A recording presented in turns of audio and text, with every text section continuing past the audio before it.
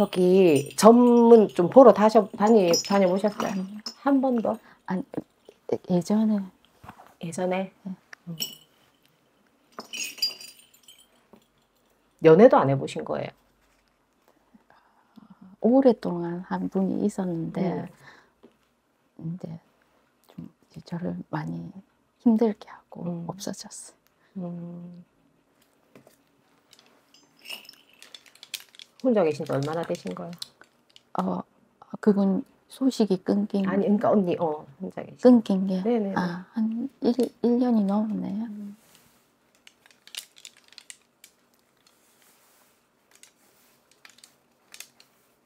아예 그러면은 뭐 연락은 모르 모르시는 거고 네. 음.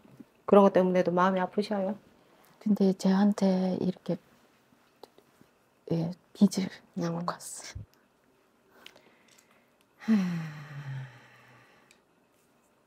참 소녀 같으시다.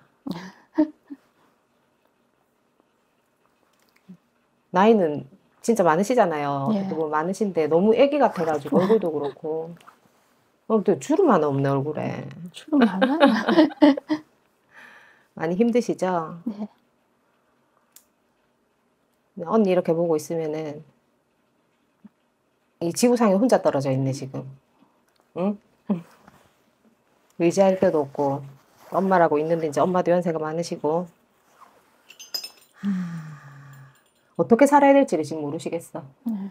앞으로 이제 살아갈 게 막막하기도 하고 사실 겁이 난다 하시거든요. 네.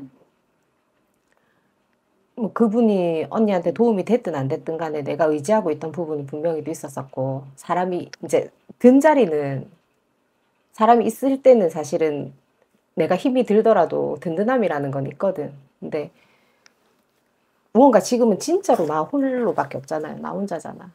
그러니까 어디 얘기할 데도 없고 내 속내 이야기할 때라고는 진짜 없어요. 어떻게 하다 보니까 너무 답답하니까 이제 찾는 거예요. 네. 그래서 오신 거예요. 네. 잘 오셨습니다. 아이고, 지금 뭐 하십니까? 지금 그동안 저 아빠가 5월에 돌아가셨거든요. 음. 강아지도 19살짜리가 4월에 응. 죽었고 그래갖고 그동안 이제 둘이 좀 케어 한다고 음. 사실 아무것도 못했어요. 음. 그래서 그, 그 야금야금 조금씩 이제 아껴가면서 했는데 지금은 진짜 벌어야 되니까 음. 이제 안 해봤던 일을 하려고 준비하려고 하는데 생전 안 해본 거라서 겁도 나고 음. 별로 일도 안 해봤고 근데 하기는 해야 되고 음. 빚도 갚아야 되고 하니까는 아이고. 뭘 하겠노, 언니가. 집에서 지금 공부방을 해보려고 음. 하는데 어쩔지 잘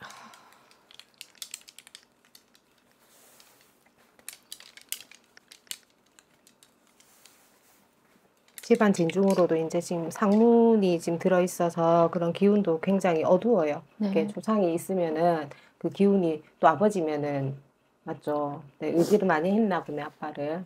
응? 네. 본인이 언니가 의지 많이 하다 보니까는 이제 그거에서 지금 아직 5월이면 얼마 안 됐잖아요, 그죠? 그러니까 아직 이 마음의 정리도 안 되신 부분들이 너무나도 많고 진짜 너무 많이 힘드시겠어요. 그러니까 따라갈까 이런 생각도 하셨어? 에휴. 그 엄마 어떡하라고? 엄마는 저랑 너무 성향이 달라서 그냥 뒤돌았으면 재밌는 일 있으면 하하 그러시거든 아이고. 병원 가서 만약에 진단을 받아보시면 지금 막 우울증이나 공황장애 뭐 이런 거 진단 나오시겠다. 그러니까 지금 혼자서 무언가를 다 개척해서 해 나가시기는 지금 심리적으로도 그렇고 안정도 안 되시고 너무너무 사실 힘드셔요.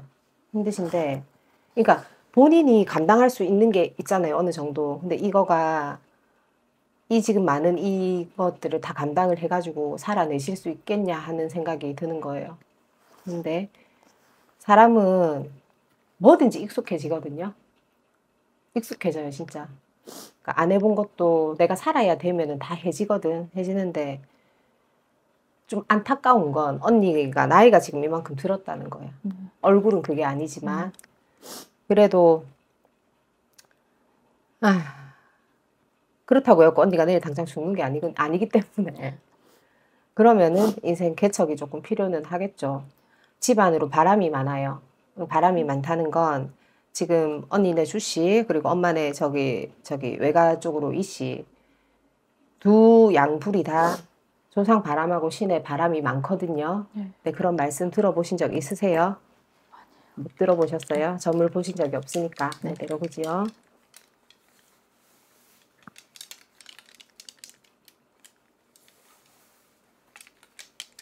바람이 많아요. 바람이 많기 때문에 언니도 사실상 진짜 뭐 소녀 같고 성향은 막 그런데 착하잖아. 본인 생각해도 착하죠.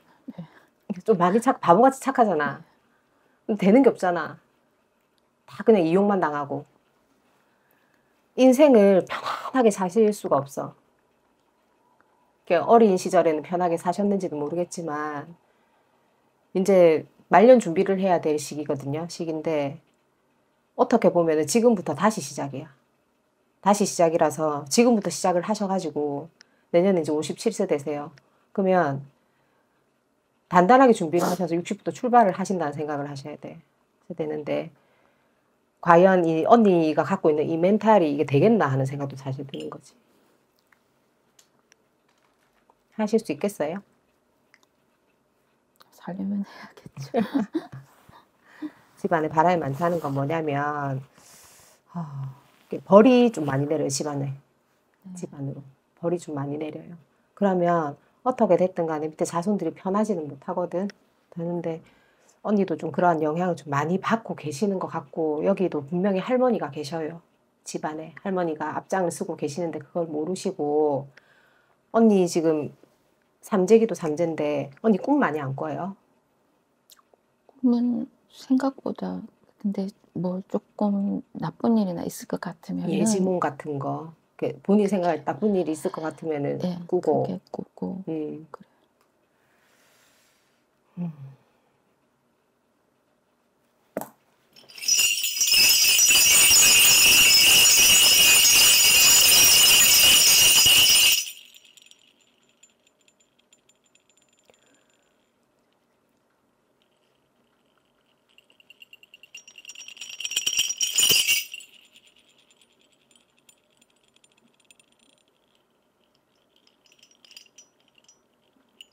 집에 형제가 어떻게 되세요? 일남 사녀 제가 음. 맞이고 일남 자녀 중에 맞이에요? 네.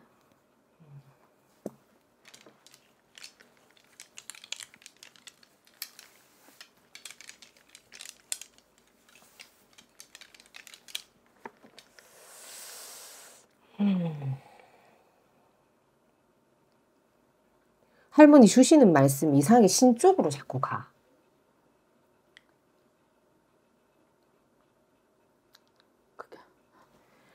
우리 같은 가물 있잖아요. 네. 이런 얘기는 사실 좀 쉽진 않거든요. 저희도 뵙는 게 쉽진 않는데 신 쪽으로 자꾸 가는 거예요. 언니도 대단한 신의 바람을 맞고 있는 것 같고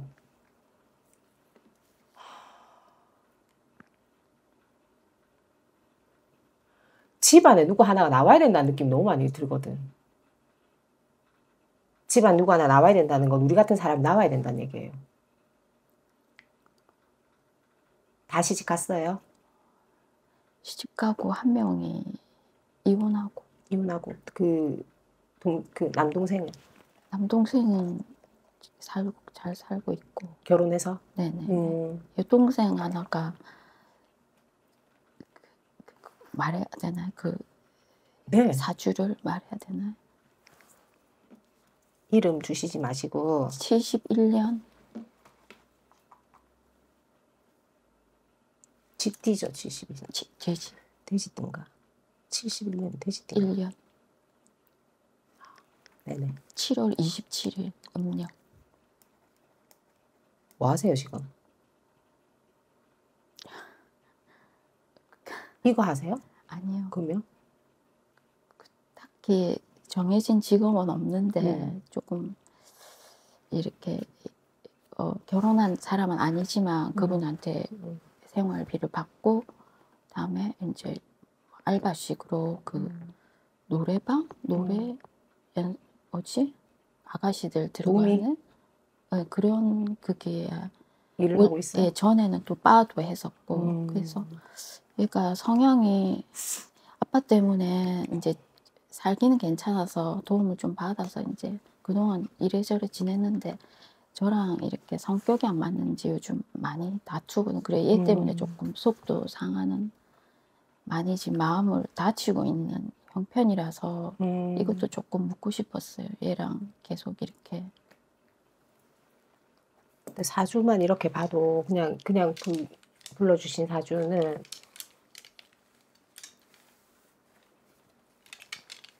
예사롭진 않아요. 일반인으로 살 수가 없어. 그냥 인간으로 살기는 너무너무 힘이 들어요. 언니가 봐도 그렇잖아요. 네, 강해요 어디를 가도 그러니까 그 얘기도 맞나 보다 그러면은 뭐 집안에 사실은 누구 하나 나와야 되는 거는 맞는 것 같거든. 그 나간다는 게 무슨 의미야? 나와야 되는 거. 나와. 그러니까 무당이 됐든 뭐가 됐든 누구 하나가 나와야 될 것 같아. 집안에 그러니까 언니 때에. 음. 근데 그런 거를 중요한 거는 안 믿는다는 거죠. 안 믿어. 풍파가 그래서 많이 져요. 집안에. 많이 지고 힘도 드신데 지금 그 그렇다고 해가지고 언니가 다 먹여 살리는 건 아니잖아요. 네. 지금 엄마하고 두 분만 이렇게 계시는 거죠. 근데 뭐 엄마는 다른 자식들이 있으니까 음. 뭐 엄마가 혼자 돼도 얼마든지 보조를 받을 수 있으니까 저는 어쨌든 저 혼자만 제 음. 앞길을 살면 돼.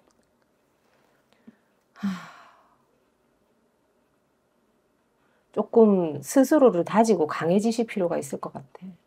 너무 약해 계시거든. 지금 이게 무언가 뭐 무당들이 지금 이렇게 약하니까 무언가를 해가지고 뭐, 뭐 강하게 만들어 봅시다. 이런 것도 지금 필요가 없어요. 왜냐면 그게 문제가 아니고 그렇게 하기까지도 이제 본인이 마음을 정하고 다 다져야, 다져야 되는데 지금 언니가 언니가 다 놓고 있거든요. 사실은 놓고 있는 부분들이 많아가지고 살기는 살아야 되지만 대책도 없고 어떻게 해야 될지 모르겠고 앞이 깜깜해. 그래서 진짜 이게 구간이 지금 터널이면 여기를 내가 어떻게 뚫고 나가지? 지금 터널이 지금 밀려 있는 거예요. 어, 여기 어떻게 내가 여기를 뚫고 나가야 되나? 지금 이거인데 지금 터널 진입해가지고 그래도 무언가 큰 사고가 아니면 천천히 가도 나가지잖아. 네. 나가지잖아요. 네. 조금 시간은 걸릴지 모르겠지만 언니가 다른 사람들보다 빠릿빠릿하지는 못해요. 그 본인이 더 잘 아시죠? 네. 빠릿빠릿하지 못해서 일을 하시는 데 있어서도 그렇고 사실은 배움도 그렇고 머리는 명석하고 똑똑하세요. 똑똑하시지만 행동이나 이런 부분 얘기하는 거예요. 그러니까 사람들하고 충도 일어날 수도 있고 조금 힘드실 수도 있거든요. 음. 그래도 하셔야 돼. 네. 그러니까 이미 지금 인생을 다 거진 사시고 말년 준비를 하셔야 되는 이 시기에 나는 다시 출발이니까 얼마나 힘이 드시겠어요. 네. 그렇다고 뭐 남자 복이 있느냐 없어요 언니. 네. 없기 때문에 얇아요 귀가. 얇아서 내가 외로움에 내가 너무 외롭고 막 이렇기 때문에 누군가가 와갖고 한번 안아주고 너무 다 다정하게 해주고 하면은 그냥 이게 다 진짜인 줄 알고 넘어가거든요. 이제 그렇게 하면 안 돼. 그러니까 공부방 어떤 거 하시려고 애들 네, 공부방 네, 네. 음, 하시려고 준비하시는 거예요? 지금 하시는 거예요? 지금 준비할 준비 중 네, 네. 아파트 뭐 네, 이런 네, 데다가 저희 집에서 아, 집에서 네. 어.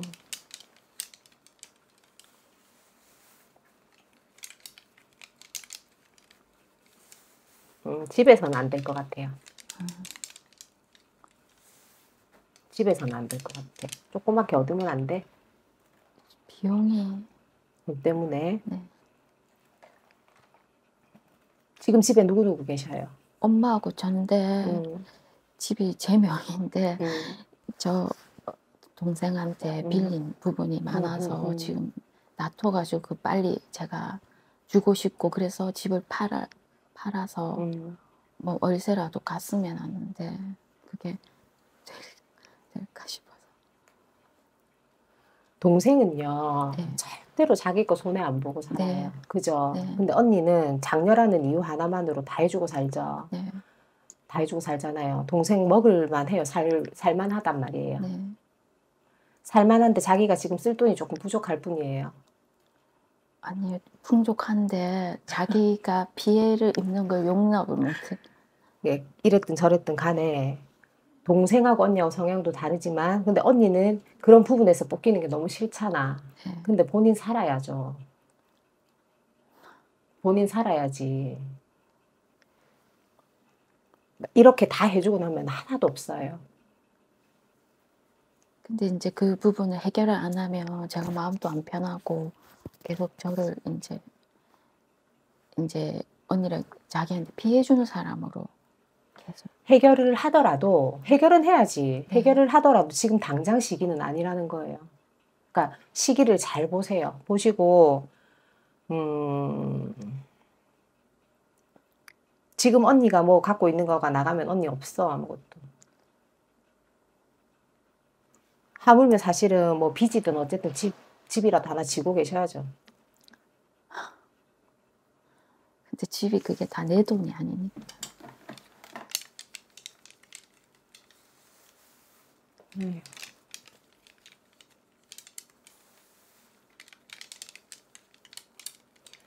저 집에서 아버지도 같이 계셨던 거야? 네. 사실은 그래서 거기서 지금 공부방을 하면 안 돼. 네. 그럼 이사를 차라리 그냥 좀 이사를 가실 수 있으면 이사도 괜찮을 것 같아요. 네. 이사를 가실 수 있으면 이사를 가셔서 하시는 건 괜찮은데 네. 뭐뭐 이거 차리고 저거 차리고 하는데 비용 많이 드시잖아. 네네 그러니까 이사를 가셔가지고 그 한 집에 사신 건 괜찮은데 지금 계신 곳에서는 안 돼. 이사는 그럼 그 정관 안에서 괜찮으실 것 같아요. 네. 아유. 제 마음은 이사라도 해서 뭐 금, 금전적인 거 동생 거를 해결해 주고 엄마는 뭐 저하고 같이 있겠다면 있고 아니면 뭐 다른 동생이나 혼자 있겠다면 그렇게 했으면. 엄마도 사실은 성향이 안 맞거든요. 저랑. 누가 맞겠습니까 언니하고 참는 거지 뭐 다. 아유 아버지는 잘 풀어드렸어요? 아버지는 음, 예, 그 저기 그 수목장으로 수목장 해드리고 마, 저기 밀양 삼랑진에 만호. 자식구제도 해드리고 49전 저희들끼리 그 절에서는 안 하고 그냥 집에서 집에서 어떻게 사식구제를 하노? 말도 안 되는 것 같다 진짜 못 잡고 그냥 상만 차려드려. 음.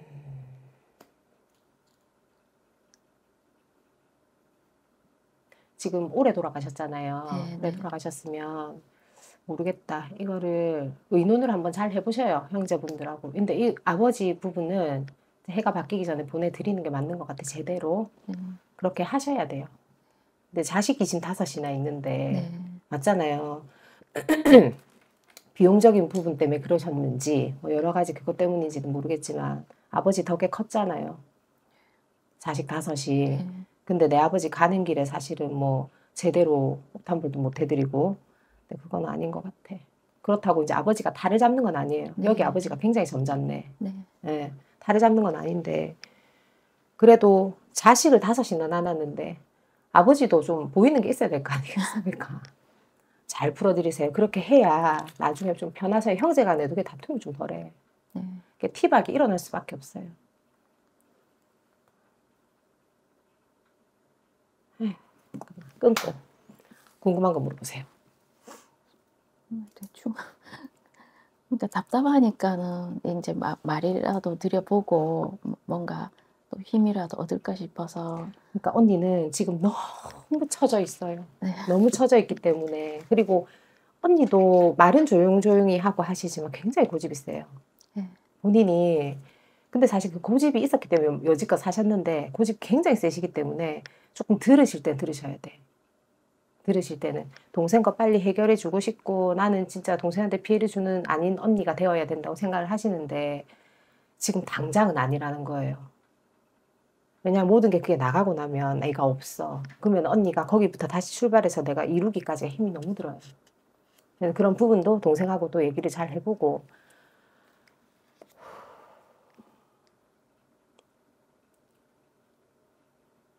동생이 거의 진짜 제자 같아요. 하루에 12번씩 변덕이야. 네. 아.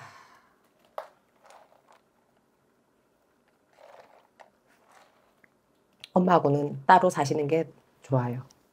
저하고. 서로 정신 건강에 좋아요. 네. 아시잖아. 마음은 안 그런데. 어, 아시잖아. 정신적으로. 많이 일어난다. 네. 그러니까. 음. 이게 조금 속은 시원하세요? 안 시원하실 텐데. 어쨌든 제가 그러니까 예를 들면. 무당집에 이제 오셨어. 네. 그러면은 언니가 지금 사주가 이러니까 뭐라도 한번 풀어보세요. 이런 말도 하거든요. 네. 하는데 그런 말을 하기 이전에 네. 언니 먼저 다듬어야 돼. 그러니까 무당이 해가지고 좋아지게 해줄 수는 있지만 본인이 마음이 어느 정도 서야 되고 본인 멘탈을 잡는, 잡아야 무언가가 더 돼요. 네. 근데 언니는 지금 너무 이렇게 흔들리고 있고 그렇기 때문에 내가 내 중심을 조금 잡고 바로 탁 쓰는 게 지금 중요해요. 그렇게 돼가지고 그렇게 되었을 때도 만약에 힘이 들고 안 되잖아요. 그러면 무당이 힘을 줄 수 있어요. 그리고 대신에 이제 얘기할 데 없다거나 소통 언니 진짜 말할 데가 없거든요. 그럴 때는 연락을 하셔야 돼요. 하시고 속에 응어리를 지시면 안 돼. 그러니까 좀 더시고 의논할 부분 같은 거 있으면 의논도 좀 하시고 그렇게 사시면 좀 편하실 거예요. 아예 그냥 사실은 답답해서 오시기는 했는데 신적으로 연결을 아예 안 하고 가실 분은 아니에요. 아까도 이 집안에 누구는 하나는 나와야 된다고 말씀을 드렸듯이 다들 비슷비슷해요. 네. 언니가 해도 한다는 얘기예요. 그 얘기는. 네. 말인지 알겠죠? 네. 그러니까 어, 내가 답답해서 찾은 곳이기는 하지만 뭔가 해답이 있다고 생각을 한번 해보시고 좋게 생각을 하세요. 그리고 답답하시면 연락 주세요. 제가 저기 올해 그 분한테 제가 빚을 이렇게 다 짊어졌잖아요. 그걸 다 해결할 수 있을까요? 언니가 제가 해결해야 되니까 그분을 찾을 수가 없으니까 언니가 해결해야 되는데 해결은 안 되겠습니까? 금액이 얼마나 돼? 5천만 원. 아, 그거는 돈도 아니에요, 언니. 할 수 있어요. 그분은 저랑 이제 끊을 게 아유, 오더라도 안 되지. 네. 그거는 그 말도 안, 아닌 얘기고. 네. 함부래. 그리고 지금 삼재거든, 네. 언니가. 네. 언니가 내년까지 삼재라서 네. 더 힘든 것도 있어. 네. 기운이 있는 사람들은, 신의 기운이 있는 사람들은 삼재, 그리고 이제 뭐 숫자에도 굉장히 예민해요. 3579. 네. 그러니까 이런 숫자나 삼재나 이런 게 있으면은 내가 그걸 풀지 못하면 그 해운에 안 좋은 게 탁 하고 치는 게 있거든요. 네. 그 언니 바로 올해 아버지 돌아가시면서 본인도 삼재다가 근데 내년에 일곱 수를 맞으면서 나가는 삼재거든요. 나갈 때 그러니까 내년에 이제 시작될 때 삼재 풀이를 하고 가세요. 삼, 네. 삼재 풀이 1년 삼재 풀이를 하고 나면 조금 나아요. 네. 음. 그럼 여기 와서 네? 아니 저한테 전화 주시면 돼요. 아, 네. 일러 드릴게요, 그러면.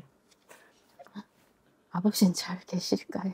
아버지가 그러니까 그 말씀을 드린 거니까 잘 계신 아버지가 잘 못 가 못 가셨지 아직. 그러니까 가, 그, 어, 이, 이 부분은 언니 혼자 해결할 수 있는 부분이 아니니까 형제들하고 의논을 해가지고 아버지를 잘 좀 보내드려 보세요. 올해 가기 전에. 왜냐면 올해라고 하면 언니가 긴장할 거예요. 지금 12월 보름이니까 우리로 보면 아직 11월 3일밖에 안 됐어. 음력. 음, 그러면은 내년 설 전이 구정 전에 음. 구정 끝까지 해가지고 하여튼 아버지를 좀 보내드리는 거 생각 의논을 좀 해보세요. 수목장도 수목장을 했다고 다 편하시진 않고 네. 아휴, 아버지가 한이 많으시거든. 어쨌든 다 말을 다못 뱉고 가셨다 하거든요. 그렇기 때문에 유언도 제대로 못 남기신 거고 여러 가지가 있어요.